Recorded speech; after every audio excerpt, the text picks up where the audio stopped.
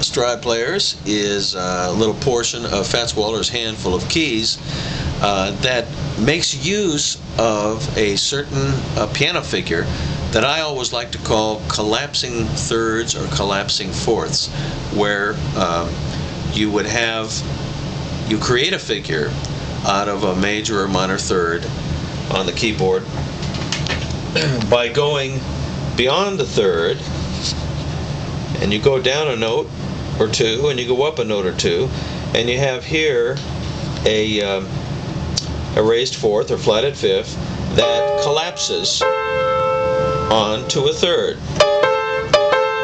You can also do this uh, with a uh, uh, with a perfect fifth collapsing onto a fourth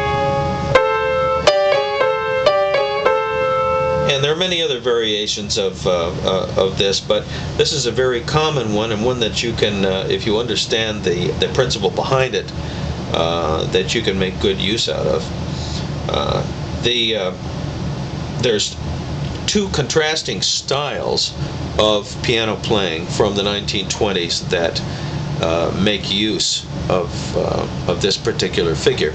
One, the novelty piano style. people. Um, that uh, wrote some very tricky, what we call novelty piano pieces, which were closer to ragtime with some of the stride-like figures. Uh, people like Zez Confrey and Roy Bargy and, and uh, many others uh, use this uh, collapsing third and fourth. For example, Zez Confrey's Kitten on the Keys.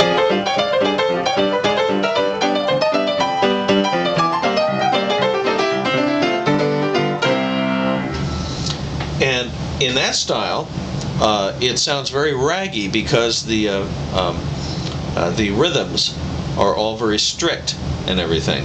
Uh, it's uh, it's not swinging like in the stride style. It's more like a ragtime piece.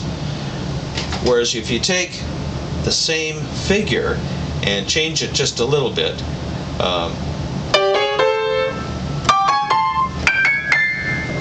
and put it in a swing stride style with a stride bass, you get the uh, the Fats Waller version.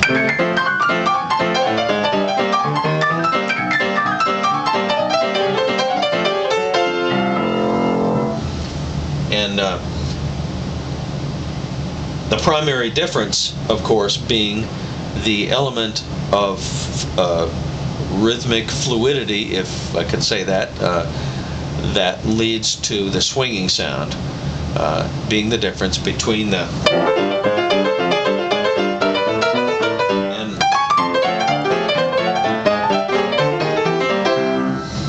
so that's just something to keep in mind. It's something that you can practice and uh, see if you can get it working for you.